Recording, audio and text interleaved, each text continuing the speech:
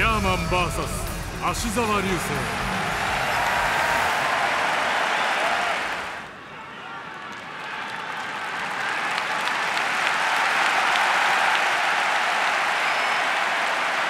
このように本日の第9試合ザ・マッチ2022キックボクシングルール62キロ契約。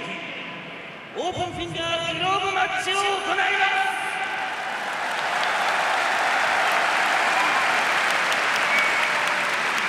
タイガー君175センチ61.8零37戦24勝12敗1分け。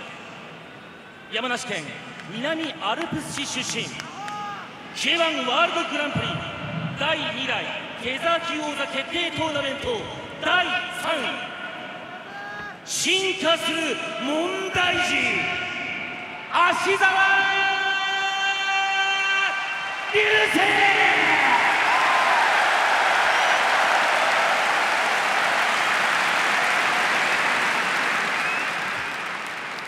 ドラゴンコーナー173センチ61.90キロ14戦11勝3敗。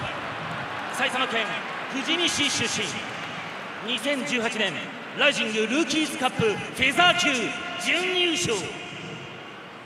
キングオブストリートファイト。いや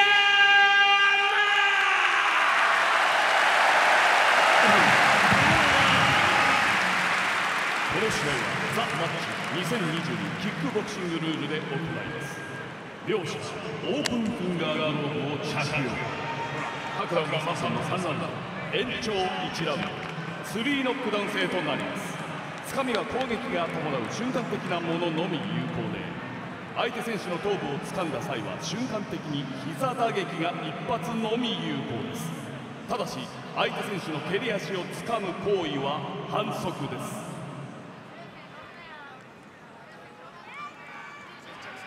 ラ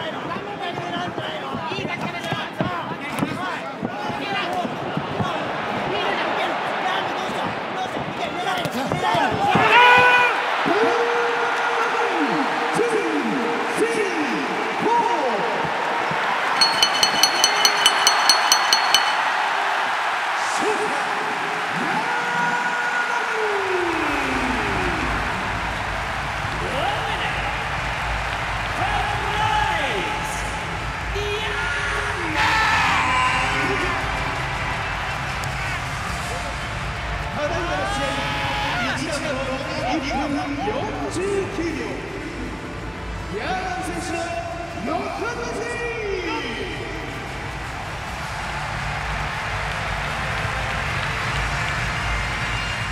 ありがとございました。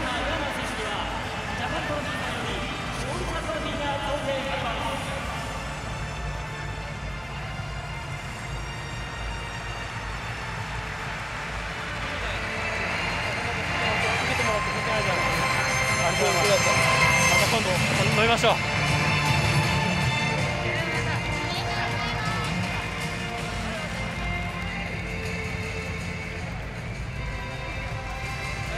続いてヨギボー様より勝利賞としてヨギボーマックスがそして慶応賞として50万円が贈呈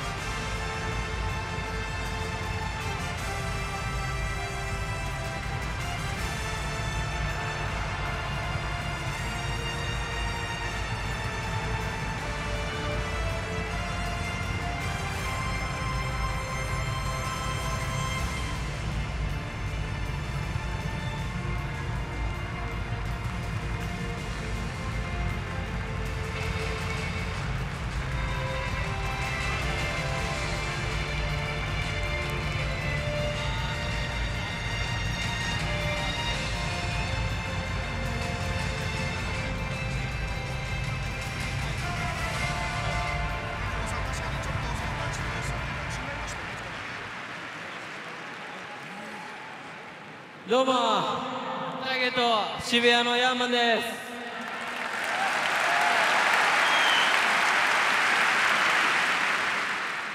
まずね相手の足。いやマジで男だと思う。本当62キロでオープンフィンガーってまあ俺の土俵でこう上がってきてもらって本当気合と根性すげえなと思って。マジであの男として認めてるからなんかタッキーとデートでこう3人でどうかな。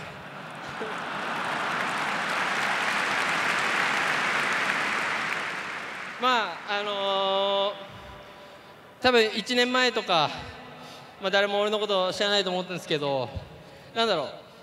那須川天心って神童じゃないですか。武選手って天才じゃないですか。まあアッシーも歌うまいしでもそこ笑うとこじゃないから。でもなんだろう。ヤーマンって別に特に何も持ってないと思うんですよみんな。本当凡人がこの最格闘技最高峰の舞台に立てるってことを気合と根性だけあればこの格闘技の最高峰の舞台に立てるってことを、まあ、俺とアッシーが証明したのかなって思うんでなんだろう。